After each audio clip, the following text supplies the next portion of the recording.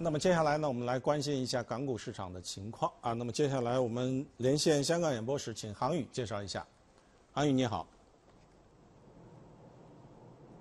亚马原香股市今天开盘是继续承接昨天的跌势。昨天我们知道，在呃五月份首个交易日呢，香港股市和 A 股是一个背驰的走势，港股呢昨天大跌。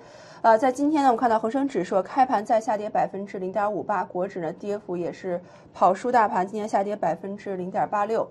现在开盘一段时间之后，这两个指数，呃，这个国指的跌幅要略有收窄，但恒指呢现在跌幅达到百分之零点七。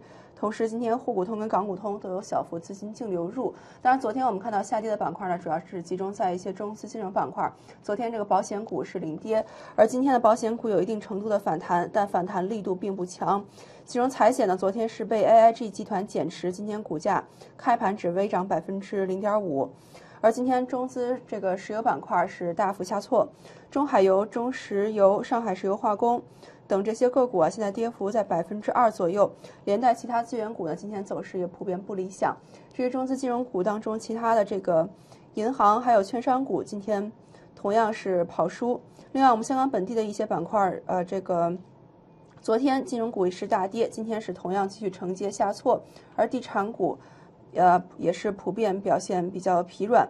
至于澳门板块呢，今天是这个澳门板块今天整理，啊，这样整体看来呢，我们香港股市今天开盘呢是继续下跌，同时呢，这个恒生指数目前已经比较接近两万点大关，我们需要关注今天能不能守得住这个关口。马原，好的，谢谢航宇。